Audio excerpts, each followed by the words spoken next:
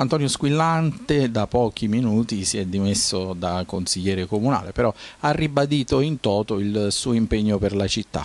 Assolutamente sì, purtroppo era un atto dovuto sia in termini di responsabilità, io già avevo anticipato che necessariamente attesa la delicatezza dell'incarico che eh, sto ricoprendo e che andrò a gestire appunto nei prossimi tre anni, eh, cioè tutta la sanità della provincia di Salerno, quindi un, un incarico molto molto impegnativo. Eh, C'è anche una questione appunto normativa che prevede che chi è consigliere comunale nel circondario nel quale eh, ricade l'azienda sanitaria non può svolgere appunto tale funzione. Quindi oggi ho rassegnato le mie dimissioni nelle mani del Consiglio comunale comunale, del segretario generale e auguro a tutti coloro appunto, che continueranno queste esperienze un buon lavoro. In ogni caso Angri è la città per la quale io mi sono candidato a sindaco, Angri è la città che mi ha dato eh, tante cose importanti, tante esperienze importanti che mi hanno accompagnato a raggiungere questo importante eh, risultato appunto della direzione della Slunica di Salerno e quindi ovviamente il mio cuore e la mia attenzione nei limiti limiti e nel rispetto appunto delle norme e della legalità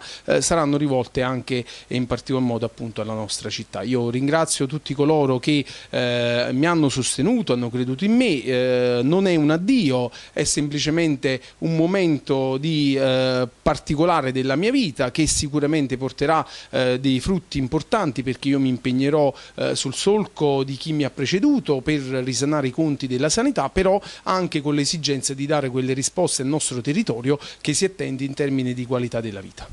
Sicuramente al suo posto subentrerà Amalia Scoppa con un curriculum di tutto rispetto e anche molto vicino al presidente Cirielli. Sì, a Amalia Scoppa gli faccio i miei auguri, l'ho chiamata, è una, una, donna che comunque si è impegnata politicamente, ha raggiunto un importante risultato in termini eh, di, di, consensi elettorali, quindi sicuramente merita di subentrare appunto in consiglio comunale io le auguro un buon lavoro, l'ho chiamata, ho detto nella, nella sua autonomia eh, dovrà scegliere appunto la linea politica da seguire perché eh, ritengo ognuno alla propria sensibilità. Lei mi ha garantito che cercherà di operare appunto nell'interesse della comunità angrese cercando appunto di svolgere in maniera ottimale appunto il proprio ruolo di consigliere comunale.